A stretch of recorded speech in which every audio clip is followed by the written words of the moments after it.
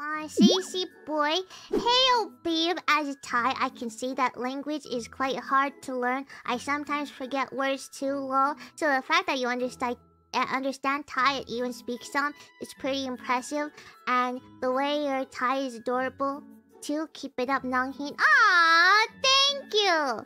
Momseki sent me a text too. She's like, I'm proud of you for for you guys are too nice to me. Everyone's. But but thank you. I will do my best. Yeah, Momseki sent me a text. She was like, I'm proud of you too for for like learning Thai. And she she even pulled out the grandma card. She she said she said Kunyai. Kunyai is my grandma. Kunyai would be proud. And I was like, Mom! Don't bring up grandma either! That's not fair! Yeah, Momseki said even nowadays there's so much Thai slang that she doesn't understand.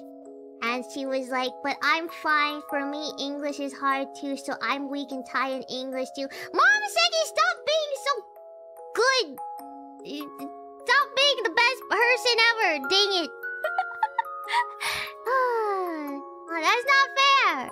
Debut Len, I'm holding her captive. She's too good for this world. For you guys.